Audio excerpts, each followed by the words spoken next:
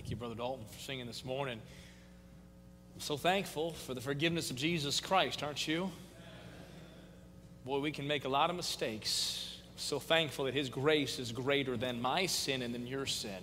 I'm glad you're here this morning, and I want you to know above everything else that God loves you and Jesus died for you. No matter how broken you may feel you are, no matter how messed up you may think you are, Jesus Christ can take those pieces and He can make something new again. He can take a broken, messed up life, He can save it and transform it.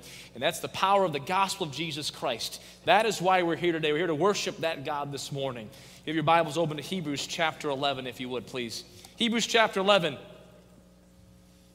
Book of Hebrews, chapter 11, is the chapter on faith. We began there last week. I want to look at that same passage this morning and this evening with the grace of the Lord in that. Why are you here this morning? Why are you here this morning? Well, I'm here because my wife dragged me here. Get to church or the pastor, you got to preach this morning. Here because, boy, someone will think bad of me if I'm not here. You're here because maybe you're at a point in life where it feels hopeless. Maybe you're here because, boy, I go to church. It's what I do on Sundays. This morning, I want to challenge us on a true faith in God. We come to church for a variety of reasons. We miss church for a variety of excuses. There's only one reason we ought to come to church, and that's for God Himself. Now, God will use you for other people. Uh, listen, when you're at church, you may not be just at church just to hear the preaching, though God exalts the preaching, not the preacher, but the preaching, the truth of, of, God, of the Word of God. And at First Baptist Church, we have the truth that God shared. You understand that church is, is all of this, the people of church too. That's the church. You're here to encourage one another, to pray, to worship, and to praise. That's why you're here at church today. But you ought to be here at church overall for Him. For Him. This year, the theme is only God, and what I have discovered, what I've found, is that many people have as many views of God. Someone a lot smarter than me, and that doesn't take much, has said that we often gain many of our views of God from the view of our Father or the Father figure in our life. Unknowingly, subconsciously, we would begin to view God through that lens rather than the lens of how He has revealed Himself to us in God's Word. There are some that view God as nothing more than a tyrant. Nothing more, God, that there's some that view God that He is nothing more than someone who sits up in the heavens waiting for anyone to make the slightest mistake so He can bop them on the head kind of like the whack a mole game. I see that Christian messing up, bop him on the head. This one pops up, and I bop them. And there are some people who view God to be nothing more than a tyrant who just waits for us to make one little mistake, one little slip up, and boom, he gets us. Often that is because perhaps that is how their father interacted with them. I wish that all fathers gave the right view, the right example of God. But fathers, we're flesh and blood. No excuse, just reality. I've heard some terrible stories about fathers, ones I won't re- repeat all of them. I remember one that has stuck with me for years about a father at Christmas time who would wrap all these presents for his children, have them open them, and then before they could play with them, would put on his big work boots and smash the gifts. Would it surprise you to know that those children were in counseling? Terrible things. This morning, I want to hopefully give you some aspects of God that'll strengthen your faith in God. There are some who view God to be nothing more than a grandfatherly figure in their life. Grandfathers are wonderful. I was able and privileged to know one of my grandfathers. One passed away before I was born. My other grandfather passed away a little over a year and a half ago. And I still miss him. He was a mentor in my life. I would call him for advice. He was wonderful. He, he loved technology, but he wasn't really good with technology. And he was not insecure in life financially. And so when something of his technology did not work, he would not try to fix it. He would just buy something new and put that in the closet. I like technology as well. I said, Grandpa, I'll take that. I, want, I wonder if I can fix it. And he would say, Well, JD, I'd hate to give you something broken. Oh, that's okay, Grandpa. Remember one time he gave me a, device that was worth it, and I was in college over about, about 500 to $600. He said, This thing is broken. It's a piece of junk. I said, Grandpa, would you ship it to me? And he mailed it to me from Puerto Rico. I got it, and I performed quite the feat on it. I took a paper clip and hit the reset button on the back of it. Worked until I sold it just fine. But he was much more than a technology Best Buy depot for me. He was a wonderful man. And, eh, but grandfathers, they typically just often pamper and spoil, do they not? They brag on you. And I can't remember my grandfather ever really getting on me too much. Always supporting, always just saying, oh, this is, this is great. And some people view that's the way of God. God's just sitting up there just to pat you on the head and send you a nice new shiny piece If we're not careful, we'll have false views of God. Look, please, in Hebrews chapter 11, beginning in verse number 1. Now, faith, faith is the substance of things hoped for, the evidence of things not seen. For by it the elders obtained a good report.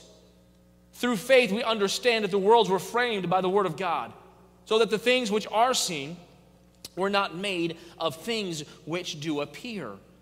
By faith, Abel offered unto God a more excellent sacrifice than Cain, by which he obtained a witness that he was righteous, God testifying of his gifts, and by it he being dead yet speaketh. By faith, Enoch was translated that he should not see death, and translated him, for before his translation, he had this testimony that he pleased God. And here's our text for this morning, verse number six. Would you read it with me this morning? But without faith, it is impossible to please him. For he that cometh to God must believe that he is, and that he is a rewarder of them that diligently seek him. Lord, I thank you for this time this morning. Lord, I pray you'd help me, Lord, to say those things that would help us according to your word. Lord, would you touch us this morning? Would you show us yourself? Lord, if there's areas in our life that are displeasing, Lord, or don't, or don't reflect you the right way, Lord, would you touch us this morning? Would maybe change for your honor and for your glory? Lord, I ask your help in this time. Lord, we'll give you the praise and the glory for it. Lord, bind the devil's demons. May there be no distractions in this service. In Jesus' name I ask. Amen. This morning, the Bible says, without faith, it is impossible. The world has changed over the last 25 years. Understatement of the day, most likely. Years ago, and I have not seen these, but, but I, I know this, there was a, a, a character that they called was Rambo. Or another character, Chuck Norris. These guys could take on unbelievable odds and win. I happen to enjoy Chuck Norris jokes. Chuck Norris, uh, he was a champion of something for a lot of times. I don't know all that stuff. But there's, there's jokes about how Chuck Norris doesn't do push ups, he just pushes the world down. Makes me chuckle. I heard another one Chuck Norris threw a grenade and killed nine soldiers. Then he pulled the pin. I heard with Chuck Norris, I heard Google's email address Google at chucknorris.com. Chuck Norris. And years ago, there was the idea, boy, we can take on the world. We can do it. You, you know, and they'll say, they'll say, you can do it. You know, you can destroy and, and, and conquer everything. But, but we're not there these days. The world changed. Instead of taking on the universe and pushing down the world, now we can sit around and talk. We're one big happy family, bunch of friends. No drive and no, uh, no push. And if we're not careful, we come into life thinking that God doesn't care what we do And he doesn't care how we think about him. Understand something that God does not live to serve me, I live to serve him. God does not live to serve me, I live to serve him.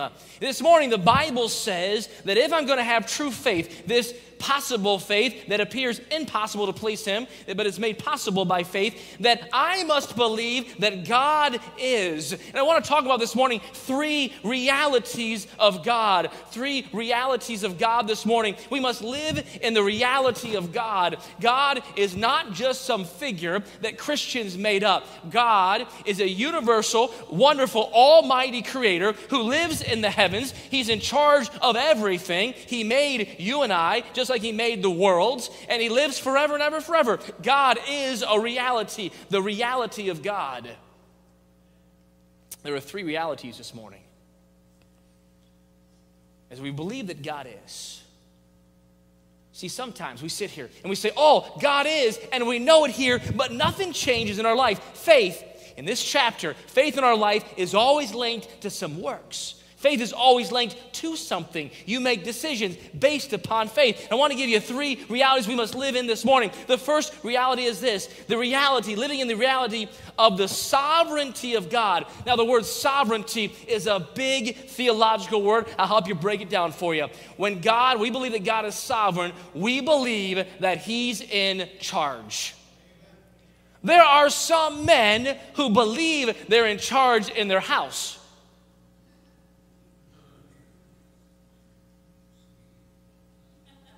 And there are some men who might be in charge in their house. They're not always the ones who believe they're in charge. There are some ladies who believe they're in charge in their house. And there are some ladies who are in charge at their house. There are some children who believe they're in charge at their house. And help me here, there are some children who actually are in charge at their house. Can I get an amen out there? Have you been to Walmart lately? I want that, I want that, I want that. No, no, no, I want that. No, no, no, I want that. Here it is, shut up now. They figured out how to run their house. Boy, I tell you, I'm going to pause here real quick, Christian parents. Listen, don't let your kids run your house. Don't let your kids run out. That's not the way God set it up. Now, I love my kids. I value their opinion sometimes. I value, I value um, their desires sometimes, occasionally. You know, on the, the, the third Sunday of the fifth month uh, in the 16th year of their life, okay? No, no, no. I love my kids. I want them, to, but, but they're not in charge in my house. They're not in charge. They're not supposed to be in charge. I remember one time I was school principal for 12 years here. I'm in the hallway, and I don't remember who it was. Praise the Lord, I don't. There was some young person on the phone with their mother talking and speaking in a way that I wouldn't speak to any human being in this world. And just, I would say, ripping her face off. And then hung up on their mother. There are a few things I think that God has a real problem with. There's a few things that J.D. Howell has a real problem with. Hanging up on your mother, don't do that in front of me. I said, that kid, what are you doing? What are you doing? And mom, I guess thought it was normal. There are some kids who think they're in charge. There are some kids who are in charge. There are some people, there are some people who think they're in charge of life.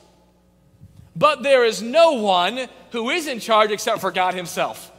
That's that word, sovereignty, living in the reality that God is in charge. Now, it's one thing to know it, it's one thing to think it, another matter entirely to live that way.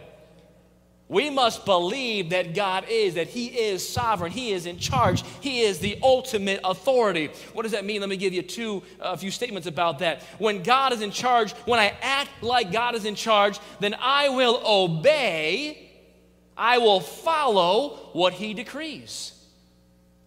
Well, what I'm trying to tell you this morning is that if you say you have faith in God, and you don't do what God tells you to do, you're not showing your faith in God. Someone who has faith in God will obey what he decrees. Jesus said, If you love me, keep my commandments. Paul in 2 Corinthians says this, For we walk by faith and not by sight. Throughout the entire chapter of chapter 11, we find men and we find women who not only believed that God is, but did what he said to do. He said to Abraham, Abraham, pack up your house, pack up your tent, pack up everyone around you, and move. Lord, where are we going? I'll tell you when you get there. Now, I do that, but just to my kids. Where are we going? We're going crazy. They've learned that crazy with dad is a lot of fun. Maybe your kids are like mine. Dad, are we there yet? Dad, are we there yet? Dad, are we there yet? That'll drive you bonkers. You know what I say? Yes. Every time, yes. We can be of the driveway. We're there yet, Dad? Yep, we're there. Oh, Dad, you're teasing. Yep. Keep on asking. Yep. But God said to Abraham, Abraham, pack it up. Abraham said, Yes, sir, I will. He obeyed what God decreed. True faith follows God. Faith in God, without faith, it is impossible to please Him. Faith obeys what He decrees. Boy, throughout this chapter, we see men and women. We see Moses, who was not wanting to go back to Egypt, but he followed the Lord. Moses made a lot of excuses. You can find that in Exodus chapter 3 and 4. When God showed up to him in the burning bush, Moses, Moses gave every excuse under the sun to the point that God became angry with him. But eventually, Moses followed and went back. Sometimes we give excuses. Lord, I can't do that, and we've got good excuses. They make a lot of sense to us, but you can't fool the Almighty. He's in charge. He can see right through you. You see, in this chapter, we find men and women who not only believe God, but follow God. In this chapter, we see about the life of Joseph who not only believed that God had a bigger plan, but he took steps and he followed God throughout that way. When he had a chance for vengeance and the chance to be bitter, he didn't. Instead, he forgave. When he had a chance to end up in some sin, he didn't. Instead, he followed God. You see, when God is in charge, I'm going to live that way and I will obey what he decrees. I wonder this morning if we were to look at your life, if all you do is just lip service to God. You can say amen, you can sing the songs, but when God touches you, you don't obey. True faith follows. True faith follows. Sometimes that following looks like an apology. Sometimes that following says, Lord, you, you, you, not, not my will, but thine be done. True faith, the reality of the sovereignty that God is in charge, I obey what He decrees. But number two, I'm okay, I'm content with what God decides. You know what I find in this life? That sometimes God brings things into people's lives that they don't understand. You ever been there before? You ever been in a situation that is there and you don't understand why God brought you to the spot? I think Joseph was there. Though he followed God, I, I can't help but wonder if there was a moment where he said, God, why am I here? Why'd you sell me? You see, when I walk in the reality of God, believe that God is, I'm okay with what He decides. I'm okay with the fact, because He's in charge, that God can do anything that He wants to do. In this chapter, we learn about Enoch. The Bible tells us that Enoch was translated, he went right to heaven. We find out that Noah, with the flood, was liberated, Abraham was separated, Isaac was consecrated, Joseph was elevated, Israel was emancipated, and Rahab was liberated. But that doesn't happen to everyone. If you have your Bibles open, Hebrews 11, would you look in verse 35, please? Where the Bible says, Women received their dead raised to life again. Boy, wouldn't that be awesome to see today? Wouldn't that be great? You go at the funeral and, and grandma sits right up. That'd be awesome. That'd be incredible. Other uh, women received their dead raised to life. Boy, this is exciting. And then the verse goes on. And others were tortured. Others were tortured. Boy, it almost seemed like a, a huge contrast there. This lady received her son back to life, and this lady got tortured. Say, what? Let's keep reading. Not accepting deliverance that they might obtain a better resurrection. Others had trial of cruel mockings and scourgings.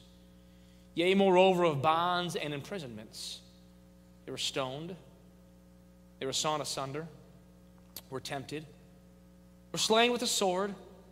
They wandered about in sheepskins and goatskins, being destitute, afflicted, and tormented. Of whom the world was not worthy, they wandered in deserts and in mountains and in dens and caves of the earth. Read those verses.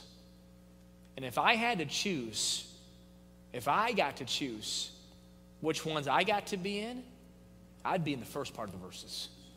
I'm just telling you about me, about my, my, my flesh. If you said, listen, you're going to show faith in God, and you can either have amazing, miraculous, dead raised back to life, or you can be tortured. Uh, door number one, please. Door number one, that's the one I want. I'm just being honest this morning, right? Do you hear me this morning? But faith in God doesn't mean uh, that, that I just have faith when things are going like I think they ought to go. When things seem to be good, faith in God says no matter what happens in life, no matter what God brings in life, I'm okay with it. I'm okay with what He decides. And true faith, when you live in the reality that God is, you'll be okay with what God brings into your life. The Bible goes on, and these all, these all, not just the ones that we think had it good or the ones that maybe had it bad, these all having obtained a good report through faith, received not the promise, God having provided some better things for us, that they without us should not be made perfect. These all having obtained a good report through faith. And my friend, this morning, I don't know what your life holds, but I tell you right now, you can still walk in faith toward God. Whether things are way up here and, and the miraculous things are happening, or whether you feel like those latter verses where every step you turn seems to be bad, you can still walk by faith. And true faith follows God no matter what happens in life. I'm okay with what He decides. Charles Spurgeon said this There is no attribute more comforting to the children of God than God's sovereignty, His control. He's in charge. Under the most adverse circumstances, in the most severe trials, they believe that God has ordained these things and that the Lord overrules them. There is nothing for which the children ought to more earnestly contend for than the fact that their master is master over all creation. When we look at this verse, we see we must believe that God is, and what is He? He is in charge of everything. And we must live a life like He is in charge. That means doing what He says and being content with what He does. I want to give another, another reality this morning. Not only must we live in the reality of His sovereignty, we must live in the reality of His strength. The reality of His strength. I wonder today if you're living in God's strength or your own strength. You see, when I live in my strength, I'm not walking by faith, I'm walking by my own strength. When I walk by faith, I live, I rest in the strength of God. I draw power from Him. I, I, see His promises, His provision. I discover peace from Him. Be careful for nothing, but in everything by prayer and supplication with thanksgiving, let your requests be made known unto God. I wonder this morning if you're living in the strength of God. I read this morning my devotions in Jeremiah chapter 32 where the Bible says, "Behold, I am the Lord, the God of the God of all flesh. Is there anything too hard for me?" Now, I love that question from scripture where God says, "I'm the God of everything. What's too hard?" In the vernacular, in the current culture, I'm the Lord, bring it on is anything too hard? Now, there are some things that we give to God, but if we're not careful, there's some things we take from God. Lord, you must heal this disease. We can't do anything, but Lord, I can provide for this bill. Lord, you do this, but I'll do this. Lord, I need your help. I'm struggling with this. God, no one but you can help me. But I can go through this day and work just fine without you. I get up in the morning without you. I get ready without you. I drive to work without you. I do my job all day without you, and I do a pretty good job at it without you. In fact, my boss thinks I'm a real good worker, and I didn't use you all day. I drive home without you, I spend time with my family without you. I go to bed without you. And then I wonder why I don't have a life of faith. Because I'm not walking in His strength, I'm walking in my strength. We must believe that God is. God is what? That God is my strength for today. Lord, when I wake up, I need you.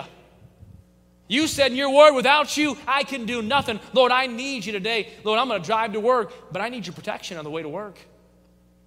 Lord, help me as I drive to work. Oh, that's silly, Pastor Howell. Do you need the Lord driving to work? You better believe I do. So do you. You ever have one of those near crash experiences? I have. They wake you up in those moments. I told you a couple weeks, uh, maybe two weeks ago now, we're driving back a, from a men's prayer meeting, Johnny and I, and a deer jumped right in front of us. I've hit more deer than anyone else in my family. I've never shot a deer out hunting, but I've hit them. I've got plenty of deer in my life. I, I never hit them hard enough, I guess, to kill them. They always run off. But boy, it, that happens, and, and it's like in a moment, you realize how quick life and how fragile life is. Wow. And that's just driving to work.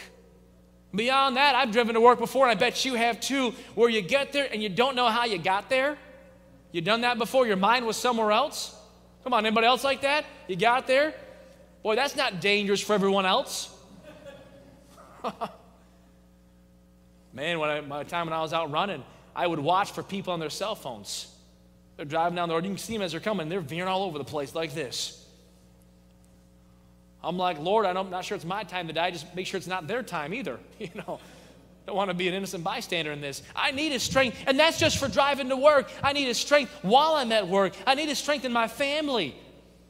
I, am flesh and blood. If I raise my kids, if I treat my wife like my flesh, I'm going to mess it all up. I need his strength. Oh, we bring the Lord back in. We come to church. Lord, help the service.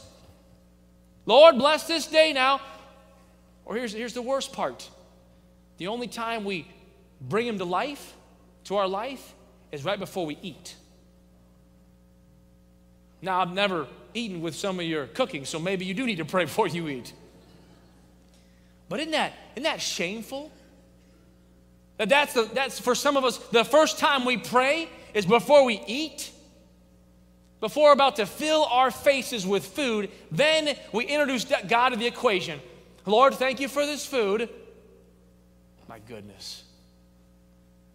Bible says without faith it's impossible to please him. Faith is believing that he is and living in that reality, the reality of his strength. Saying, Lord, I need you. I need you all day long. I need you when I wake up. I need you when I go to sleep. I need you when I drive. Lord, I need you when I eat. I need you when I work. I need you with my wife. I need you with my husband. I need you with my kids. Lord, I need you with my neighbors. I need you. And Lord, I rest in your strength.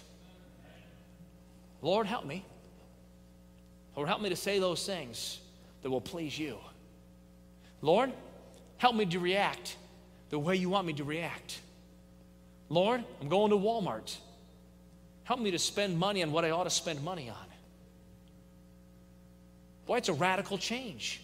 Pray before you go to Walmart, living in light of His strength. We too often, we do our things and we tell Him his things. Lord, I've got this sickness. Okay, your turn. Your turn, Lord. I did my things. You do your things. No, it's all his things. And our life must be lived that it's all his things. We live in the reality of his sovereignty, live in the reality of his strength. But this morning, we must live in the reality of his supply.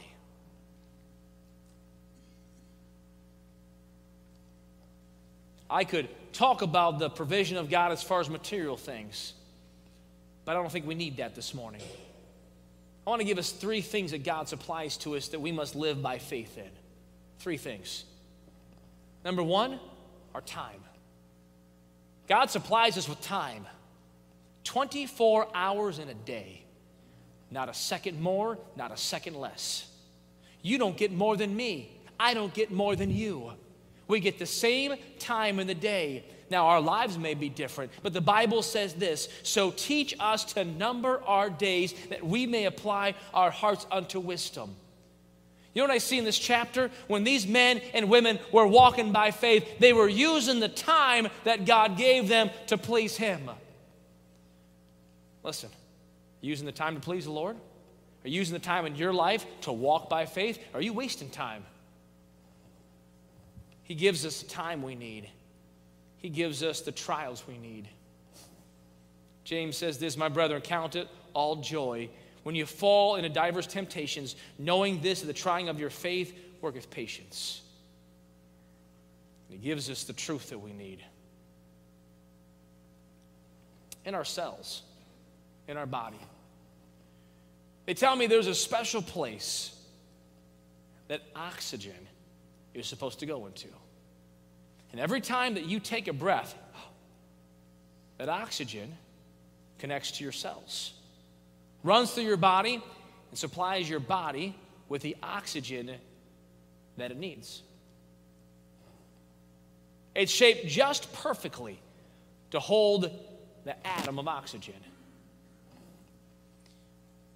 But funny thing, there's another chemical that's almost the same characteristics, just slightly different. It's called carbon monoxide. You've maybe heard the stories of people who had a furnace in their house with carbon monoxide.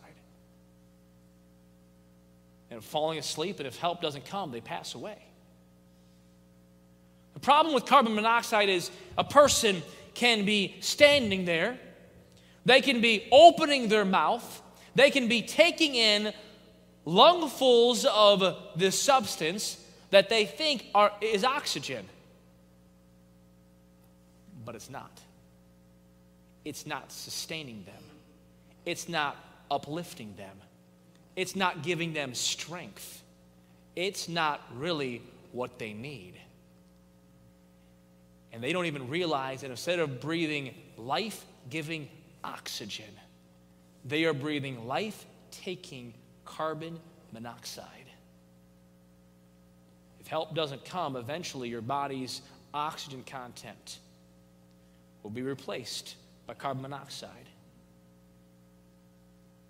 And they say that you can be suffocating with that and not even know it. You see, we're supposed to walk by faith. Faith in God is that life breathed into us. God is strength. God's in charge. God supplies. And I take that breath in faith and I follow Him. But if we're not careful, if we're not cautious, if we're not on guard, we will begin to replace our faith in God with something else. And we'll be taking these breaths and wonder why we feel suffocated inside, why life stinks, why everyone else gets all the blessings, why their prayers are answered, why they have joy and I'm just sour and, and life stinks and it's just, oh, because I'm neglecting. I'm neglecting the one thing that makes it possible to solve the impossible, and that's please Him. Without faith, it is impossible to please Him.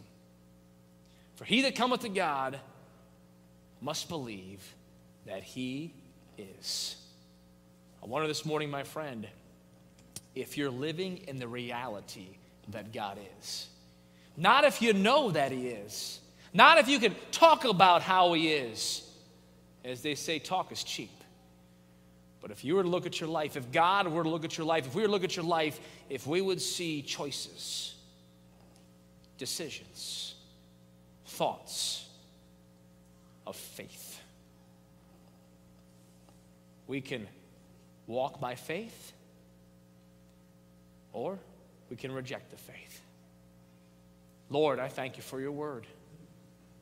Lord, I pray that you would help us this morning, challenge us, Lord. Lord, as we look at you, we see your power, we see your strength, we see your supply. And Lord, I ask you to help us to search our hearts this morning.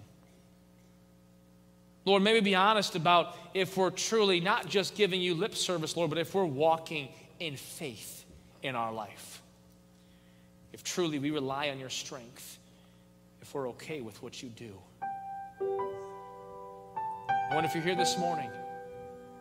I wonder if you'd say, Pastor, would you pray for me this morning?